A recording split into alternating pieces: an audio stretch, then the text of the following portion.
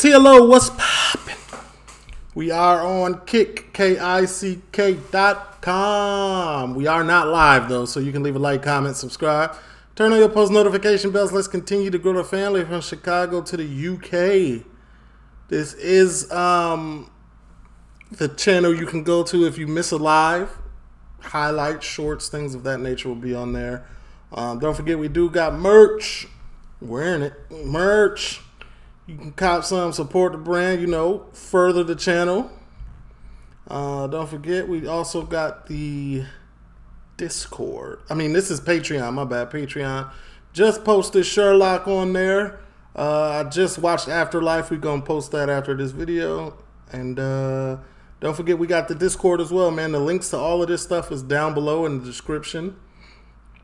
It's on a link called Linktree. Click that Linktree link, and it'll take you to everything, man. This is when a killer realizes his victim is alive. In this case, you are going to learn about a man who has been dubbed Britain's most evil man by many, Levi Bellfield. Let's get into it. In this case, you're going to learn about a man who has oh. been dubbed Britain's most evil by many. Levi Bellfield is a man without a conscience or remorse, a man who managed to conduct his murderous activities while remaining undetected by the police. Throughout his crime spree, he acquired the nicknames including the Bus Stop Stalker, the Bus Stop Killer, and the Hammerman. His victims are large in number, and nobody can be 100% sure how many people he targeted over the years. Somebody had to stop this man, but for all of Bellfield's crimes, he wasn't stupid, and catching him would not be easy. Before we begin, we would like to send our sincere condolences to the friends and Facts, facts. Condolences, RIP to the victims. families of all the victims of Levi Bellfield. Levi Rabbetts was born on May 17, 1968, at the West Middlesex Hospital in London. His father, Joseph Rabbetts, died of leukemia when Levi was just 10 years old. He had two brothers and two sisters who all became Bell. That's important. Father's death, something clicked mentally, probably. Fields when their mother remarried. All of them were brought up on a council estate in southwest London. Life was tough and a little rough, but their upbringing was good and stable. Bellfield, from a young age, had little or no respect for women. He viewed them as sexual objects that were beneath him, and in many ways, they had been put on the planet for the sexual gratification of men, especially him. He somehow managed to get different partners over a period of years, but his relationships never seemed to last that long. In total, Yeah, them two decent. Them two women was decent. They look good. Well, he fathered 11 children with five different women. But tragically, his disdain for women would re- Eleven what? Eleven women let bro bussing them. Eleven mi- women let him get in there unprotected.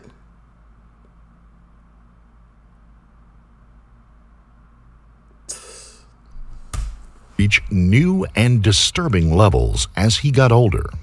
March the 21st, 2002, a few minutes before 4 o'clock, 13 year old Milly Dowler makes her way home from school and is captured on CCTV walking down Station Road in Walton on Thames, Surrey. Her regular journey to and from school, it was littered with CCTV cameras, all except for a very short distance where there was a blind spot along a busy road.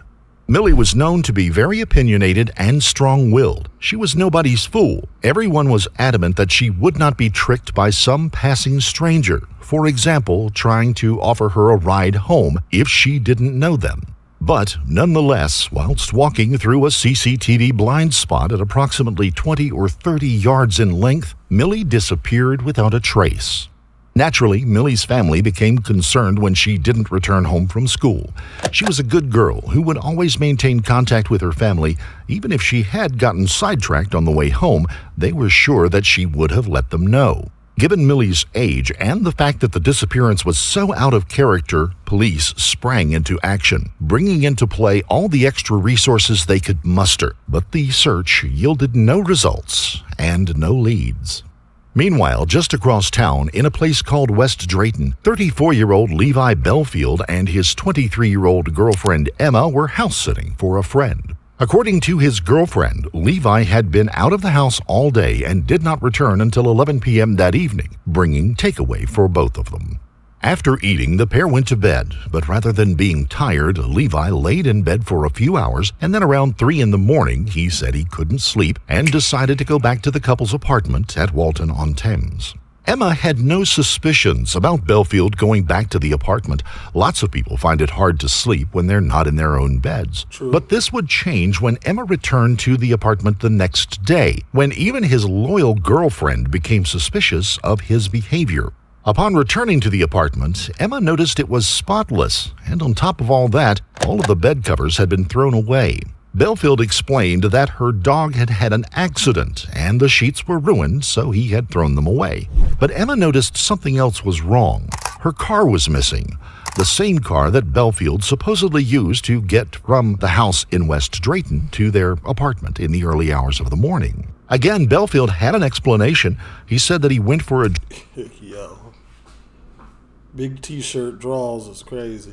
drink with someone and had had too much to drive, so he had left the car. Remember, Levi Bellfield left the apartment around 3 a.m. Who wants their friend coming around that time of the morning for a drink? Naturally, Emma wanted her car back, and the couple made their way around to where it was supposed to be. But the car wasn't there. Emma, as a matter of fact, would never see that car again. Yeah, Despite her it. reservations, Emma let the episode slide. It is likely that she suspected Bellfield of having relations with another woman, but she stuck with him anyway. Young and dumb. 23 and let the car slide. Not 23, my bad. Whole car missing. And she's just like, eh, it's okay. I love you. and the couple got a new home together in Little Benty, West Drayton. Bellfield made quite an impression on his new neighbors. Most of the street thought he was a nice guy, but he had a habit of leaving vehicles parked in awkward places, so people had to keep asking him to move them. You may know yourself from personal experience that it doesn't take long for this to become Annoying. very annoying. But it didn't take long for Bellfield's attitude to change. Neighbors noticed that he took a particular dislike to an elderly couple living on the same street. He would give them verbal abuse and was even suspected of spreading weed killer all over the couple's garden, destroying it. This was particularly callous because the elderly man loved gardening. It was his pride and joy. What he was trying to achieve, nobody really knew. But just to make sure that nobody went near his home, he bought two dogs that were, to say the least, not very friendly towards people. Couple that with barbed wire he used to cover the stolen fences, and you can see why his neighbors became uneasy about him. Now, with his garden looking more like a prisoner of war camp, people wondered what he was hiding. Levi and Emma's neighbor at the time also spoke of his concerns about their home life, saying, they played the part of a couple, happy couple, and all that. But Emma's whole demeanour told a different picture. So he was getting abusive in the home? I think Emma was very fearful. I think Levi bullied her. She cried quite a lot. You know, a happy person doesn't do that. I don't know what he was trying to achieve. I don't know what he was hiding. But it was all very strange. But Bellfield's mental state is highlighted no better than by comments of an ex girlfriend. His mood swings were so unpredictable, he would go from loving and caring to aggressive and horrible in the blink of an eye. At mealtimes, I had to separate his foods. The potatoes would have to be separate from the carrots, and the meat wouldn't be allowed to touch anything else on the plate. I know people like that. And they don't don't like their food to touch. He used to make me eat one of everything on his plate because he was convinced I was trying to poison him. When I was first pregnant with my daughter, he was absolutely over the moon. Then it changed because he already had girls with his previous partner and he'd always wanted a boy. So it kind of went downhill from there. Do not go to fabletters.com. Do not take our historically low offer.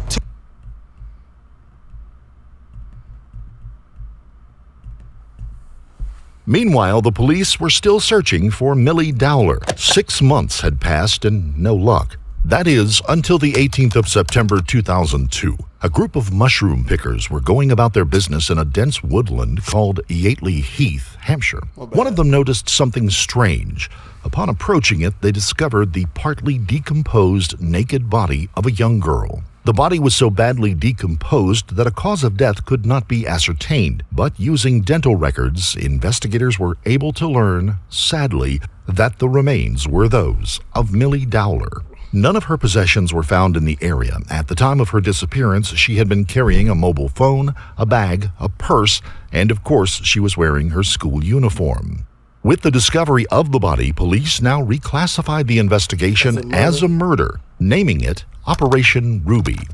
But while police were investigating the murder, the man they were looking for would strike again, just down the road.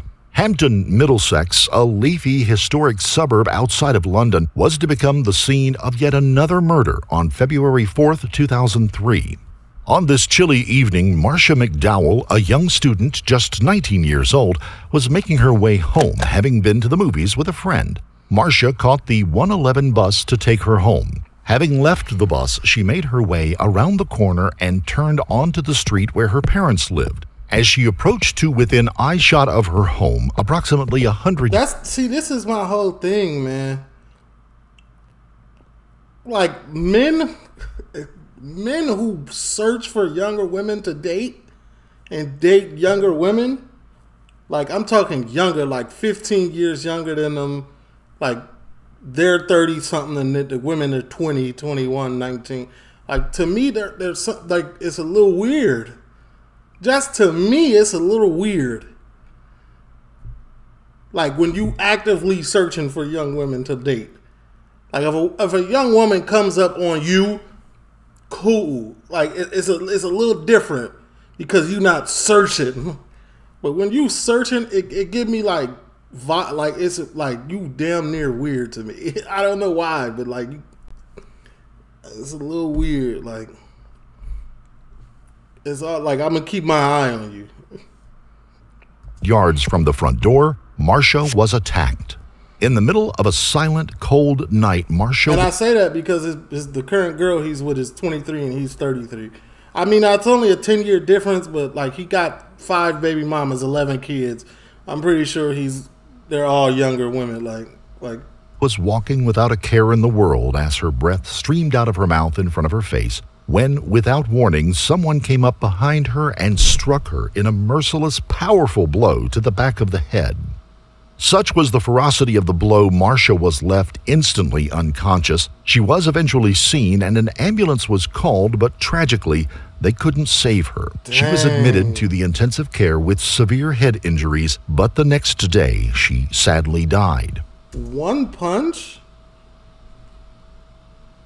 She probably like fell and hit her head too, but like that. The investigation into Marsha's senseless attack began immediately. Oh, Fortunately, buses in the UK have CCTV fitted, and this gave police their only and very tenuous lead. As Marsha got off the bus, a silver Vauxhall Corsa was seen near the bus stop. As Marsha made her way from the Percy Road bus stop and around the corner, the Corsa followed her. On the face of it, seeing a car like this might seem like a good lead, but Vauxhall Corsas are Popular very common in the UK. They account for nearly 3% of all cars driven in Britain. To make matters worse, the CCTV image wasn't good enough to get a good look at the registration plate. Meanwhile, Levi Bellfield had gotten himself a legitimate job. He was working as a doorman for several pubs and Why they keep showing this picture? clubs. This job suited him down to the ground. He loved fighting and he was aggressive and he liked getting his own way. So if anything ever went wrong at the doors and somebody started fighting, Bellfield was more than happy to get involved. People who knew Bellfield have said that his love for violence and his obsession with having big muscles came from his childhood.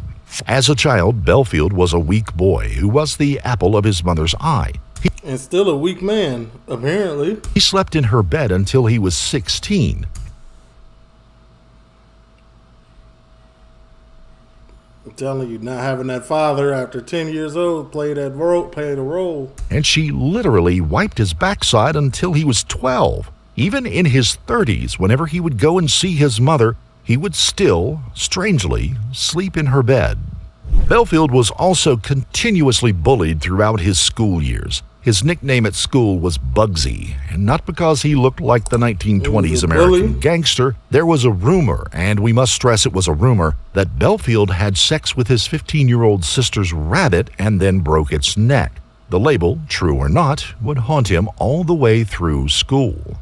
Police now said they had what they believed to be two separate investigations going on. They still had not found the so called. So he was a victim of a fatherless home after the age of 10, and he was bullied.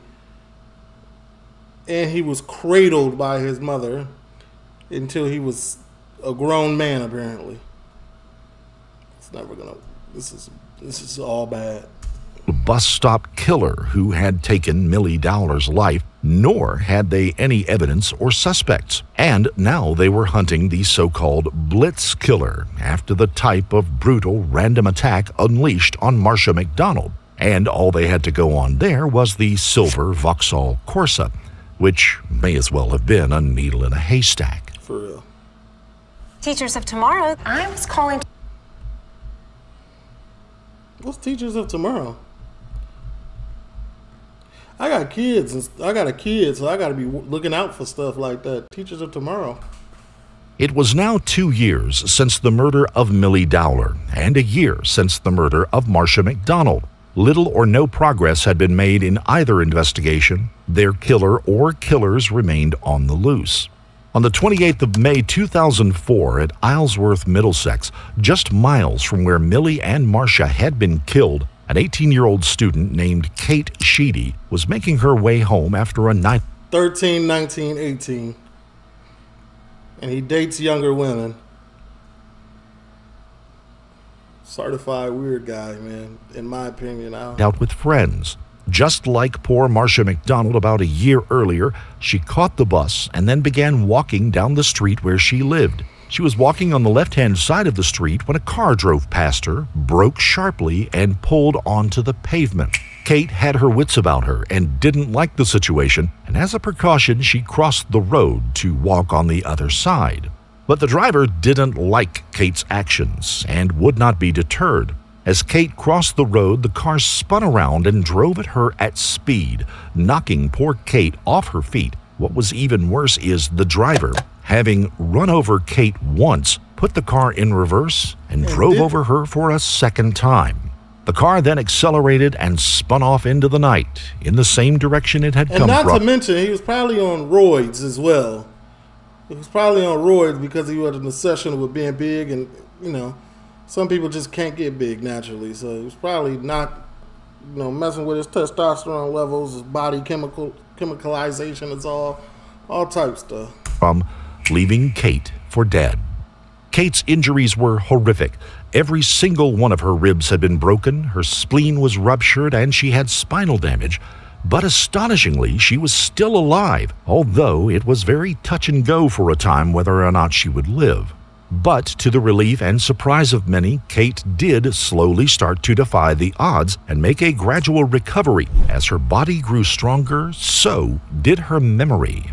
She was. It's a good thing about being young when you, well, you know, this is never a good situation, but being young in this situation, your body can heal a lot faster and a lot more, a lot better. Able to tell investigators that the car was a white people carrier with blacked out windows. Even more amazing, she remembered what could have been a minor but crucial detail. The wing mirror on the driver's side of the vehicle was smashed, Unfortunately, despite police attempting to investigate the crime, they had managed to miss the white vehicle which had actually been captured on CCTV footage, but due to what they called an administrative error, terrible policing as usual. No surprise to me. The message was never relayed. Meanwhile, Bellfield was free to carry on working as a nightclub doorman, remaining completely under the police radar. Bellfield's behavior now was becoming even more erratic and frequent. One night, he revealed to someone that he knew at the club that he was working at that there was a room upstairs that he took young girls to when the club was closed. Once in the room, the girls would face abuse, not just verbal, but sexual. Sometimes Bellfield would also take them to his vehicle parked outside. This vehicle, a white people carrier with blacked out windows. The bus stop killer was not done yet. Just three months after the attempted murder of Kate Sheedy, Detective Chief Inspector Colin Sutton received the call he had been dreading. Another body had been found, this time on Twickenham Green, just down the road from where Kate had been attacked. The body turned out to be that of 22 year old Amelie Delagrange, a French language student who had come to the UK to study. A French language student, so she already the barrier, the language. France and the UK not far apart, but she might. For two years.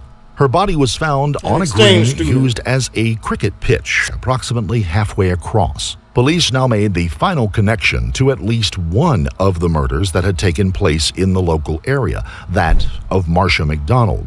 Amelie had been attacked in the same way. She had received a very powerful blow to the back of her head, almost certainly leaving her unconscious. Just like some of the other young women before her, Amelie had been out at night with her friends and had taken a bus home but police believe that she may have fallen asleep. He's definitely a serial then.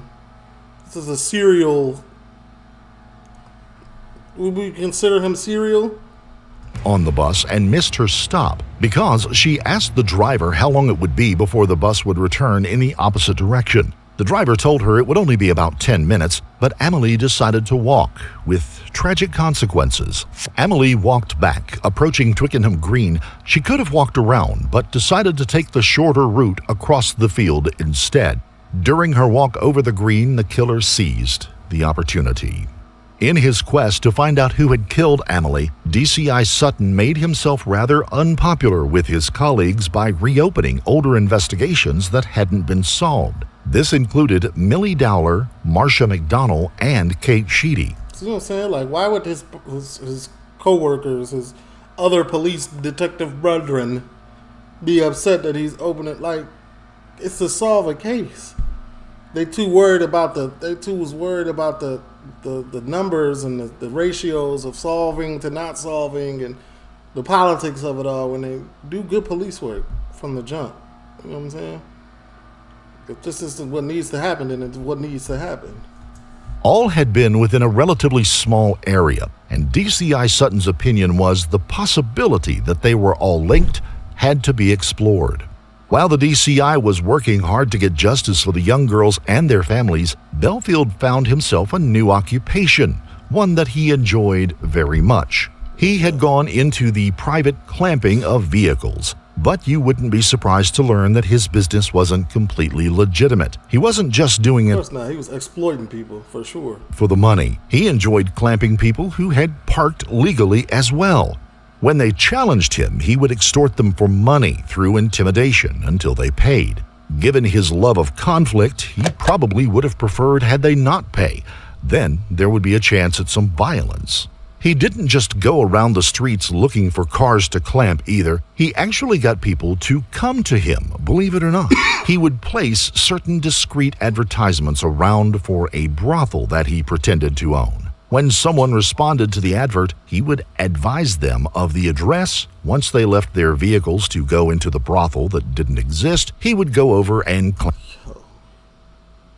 So it was like this is almost airtight. You over here looking for a brothel that's not in, not even a thing, and then he clamps your car. What are you gonna tell people?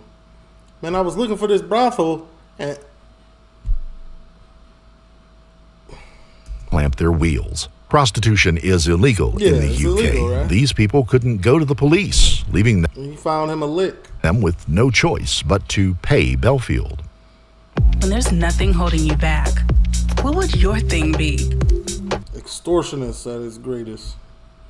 Best description for Doris. He's an extortionist and a weirdo and almost a pedo at the same time. In my opinion, man, that's the vibes. Hmm. Unbeknown to him, DCI Sutton was making slow but steady progress. Having checked the mobile phone records, he noticed that Amelie's mobile phone had not been switched off like the others. Maybe her killer had gotten overconfident or forgetful. Her phone had been left switched on until 20 minutes after her body had been found. The phone had moved from Twickenham Green to Walton on Thames. It simply wasn't possible to do this journey in 20 minutes. The police knew the killer had a vehicle, and given it was late at night, spotting a vehicle in the different locations wouldn't be that difficult. The police set about checking all the CCTV footage. To be precise, 2,000 hours of CCTV footage looking for matching vehicles along the different routes that could have been taken. Well, they wasn't doing it good because they skipped a van earlier, so hopefully they did it better than this, that time. Finally, after the monotonous task had been completed, police did notice one vehicle that appeared in both locations. It seemed to be a small van, which police were confident was a Ford. The problem, same as with the Vauxhall Corsa, Can't is that it is a very common vehicle. Oh. Ford vans are the most common in the UK, and in the London area alone, there was between 24 and 25,000 of them on the road. The police now decided to launch a public appeal for the vehicle, something that isn't too common so early in an investigation. But eliminating 25,000 vans would take too long. They needed to find this vehicle and the driver as quickly as possible, and DCI Sutton's strategy would generate a strong lead. Lady went to a local police station shortly after the appeal, claiming to know who the killer was. Her name was Joanna Collins. That's Joanna was mama. the ex girlfriend of Levi Bellfield and knew exactly what he was capable of. Police took her and her statement very seriously. Firstly, she had first hand knowledge of him. Secondly, they had no other suspects, so it was certainly a lead worth following up.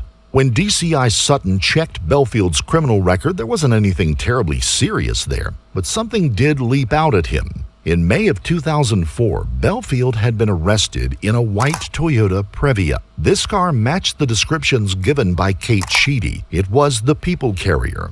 Compound this with the fact that DCI Finally found it again. Guy Sutton discovered Bellfield had also owned a silver Vauxhall Corsa. He now believed he had enough to bring him in for questioning. On the 20th of November 2004, DCI Sutton and his team went to Bellfield's home in the very early morning hours to bring him in. What channel is this? And let me sub up something that y'all should do as well.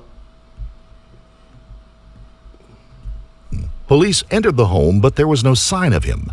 They searched everywhere, and just as it began to look like they were going to have to look somewhere else, a sergeant on the team decided to open up the attic or loft as a last resort. Climbing the ladder and shining his flashlight, The last resort, that should just be a part of searching the house because it's in the house. a naked Bellfield was seen trying to hide in the corner. The sergeant grabbed him and said those famous words in British policing You're nicked. News spread fast of Bellfield's arrest. People who had previously been scared of him now saw their chance to tell police exactly what he had been getting up to. The wall of silence and intimidation was crumbling. At one stage, DCI Sutton had 27 separate investigations open into Bellfield. These ranged from murder to assault to several rape allegations. But there was still a problem. Evidence was proving hard to come by. The police needed a working hypothesis if they were going to connect Bellfield to any of the attacks and murders that had taken place. Joanna, the ex girlfriend who had come forward first, became a very important witness for the police. She gave her full account of living with Levi Bellfield, which told its own story. She described how he would only hit her on the legs or body, where the bruises could be covered up, never in the face. If she dared to scream, cry, or wince in pain, she would be hit again, even harder. Whenever they drove down the street, she said that he would make very inappropriate comments about schoolgirls that were walking down the road. What I tell you, that's red flagging. You know what I'm saying? Weirdos. That's a weirdo. and she described how he spoke about women. He had a real disdain for women, a genuine dislike of them. As far as he was concerned, they were inferior to him. It became apparent that although he had little regard for any women, he had a special hatred for middle class women, an inferiority complex about proving that he was better than them. But because he wasn't better than them, the only way he could possibly prove this in his mind was to degrade or even kill them. Levi Bellfield was formally charged on the 2nd of March 2006. DCI Sutton said that despite the seriousness of the case, he took great pleasure in finally sitting across the table from Bellfield and reading out the charges. But there was no reaction from the remorseless, emotionless, and somewhat soulless Bellfield. He only said two words during the whole process not guilty. In 2007, Levi Bellfield finally went on trial at the Old Bailey in London. He was charged with the murders of Marsha McDonnell and Amelie Delagrange and the attempted murder of Kate Sheedy. Throughout the whole proceedings, it was noted how disinterested he was, spending long periods of time staring at the ceiling or picking at his fingernails. He continued to deny all the charges against him and tried to present himself to the jury as polite and well spoken, and he would not hurt a fly. Thankfully, this cut little ice with the judge or the jury. Bellfield had no credible defense whatsoever. The words of denial may have left his mouth, but his body language said, Why am I here? I haven't done anything wrong. This is a waste of my time. On the 25th of February 2008, Levi Bellfield was found guilty on all charges. And in quite a rare move for the UK, he was given a whole life term, which means he will never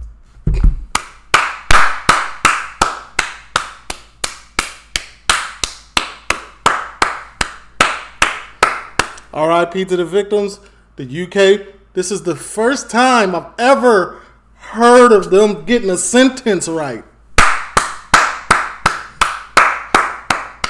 Boy, you ain't never seeing the light of day. We got four and one right here. Pedo, a, a murderer, a, a, a, weirdo. Like, just we just got him. Book him. Be released. He offered no explanation or mitigation and expressed no remorse for his actions. He just accepted the verdict. Although this was, of course, good news, the verdict had brought some justice for those poor young women and closure for the family. The same could not be said for the friends and family of Milly Dowler, whose death remained unsolved. DCI Sutton, however, was not done with Bellfield yet. There had been so many allegations against him, surely at least some of them, if not all, had some truth to them. In the conclusion of the case, Mr. Sutton noticed that Bellfield had once lived in Walton on Thames in the flat that he shared with his girlfriend Emma. DCI Sutton noticed that the address where Bellfield had lived, called Collingwood Place, was only 20 yards from the spot where Milly Dowler was last seen. It was now six years since Milly had been murdered. Finally, DCI Sutton believed they had a credible suspect. In February of 2008, the police announced publicly that Levi Bellfield was now the prime suspect in the Milly Dowler case. Police reviewed the CCTV footage again from 2002. Now, let's not forget, Levi Bellfield had left his girlfriend in the house in the early morning hours because he couldn't sleep. That house was just 20 minutes away from where Milly had been seen. Not far at all. CCTV footage showed that just 10 minutes after Milly had been caught on camera, a red Daewoo Nexia was seen leaving Collingwood Place, the exact same car that Bellfield's girlfriend owned, the exact car that went missing and was never seen again. Is this your sports betting strategy? I don't understand why they couldn't put that together at the time of the events. Like, they had all that information at the time it happened. I guess they just wasn't looking for him though. Specific. I don't know. In May of 2011, Levi Bellfield was finally put on trial for the murder of Milly Dowler. Joanna Collings, the ex girlfriend, appeared as a witness, as did Bellfield's most recent girlfriend, Emma. Many witnesses, including Emma, gave evidence from behind a screen, but Joanna refused and wanted to look at the man that had tortured her for so long. This visibly agitated Bellfield as he sat looking aggressively across the court, rocking backwards and forwards over and over throughout the proceedings. This was the point he realized that nobody was scared of him anymore, nor did he have any hold over the women that he had abused for so long. The trial lasted seven weeks. Levi Bellfield was found guilty of the murder Good. of Milly Dowler You can't give no more, more time, but good. and That's closure for the family. was handed a second whole life term. Hold on. As the guilty verdict was read out, Bellfield arrogantly yawned. They gave bro two life sentences, the kind that, that has no minimum. And in court. Since being imprisoned, Bellfield has been determined to try to cling on to his infamy, repeatedly confessing to murders in the UK from his prison cell. His confessions have reached such an extent that now very few people, if any, take him seriously. Although there is no death penalty in the UK, It Bellfield was given the next best thing. He was sent to Wakefield Prison in Yorkshire first, but after complaining about conditions and perhaps as an act of vengeance by the state, he was moved to HMP Frankland, Frankland. in the northeast of England. Along with Belmarsh, probably the most notorious prison in the UK. It has been home to criminals such as Harold Shipman, Charles Bronson, and Peter Sutcliffe. The prison has an extremely strict regime, and inmates spend 23 hours a day in their cells. Even the hardened criminals who talk of Frankland fear return to that hellhole. In 2016, Bellfield himself found out when a fellow prisoner slashed his face with a homemade knife. My bad. Even your average bank robber or gangster will not abide child killers. Since the attack, Bellfield has complained that prison guards have beaten him up and also allow other prisoners to have access to him to inflict harm. Back to your school days, huh? Back to getting bullied. You know, it's full circle. History repeats itself. So, Naturally, we wouldn't possibly condone such behavior. no, absolutely not. We don't condone that type of stuff. I don't even know why I was clapping. I was trying to kill a fly. But we'll leave it up to you to decide what's right or what's wrong or what's appropriate. The streets are now undoubtedly safer without Levi Bellfield walking them. Thankfully, he will never This picture is killing me. be free to inflict harm on anyone ever again, destined to live the rest of his life looking over his shoulder 24 hours a day. As always, here at Beyond Evil, our thoughts are with the victims and the friends and family. Moment of silence.